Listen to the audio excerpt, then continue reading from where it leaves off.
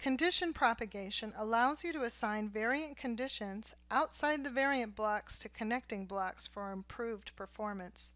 Condition propagation is available on variant subsystems and variant source and sink blocks.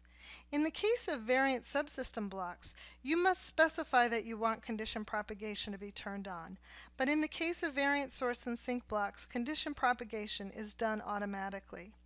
Some of the blocks connected to the variant source block in this example are grayed out.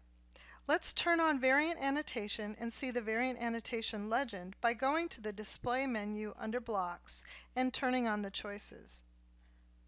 There we see that the gain and input blocks attached to the variant source blocks have the condition associated with the variant source block being associated with the blocks attached to it.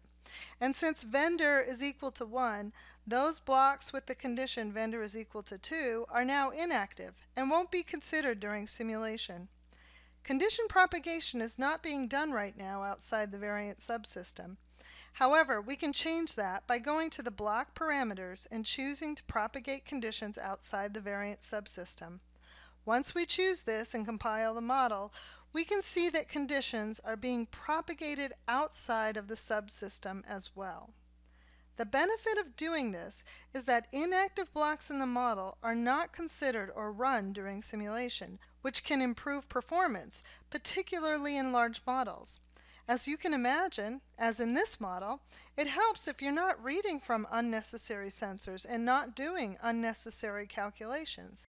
Condition propagation, available in variant source and sink blocks and variant subsystems, can be an important way to improve your performance, especially if you're using variants in your model.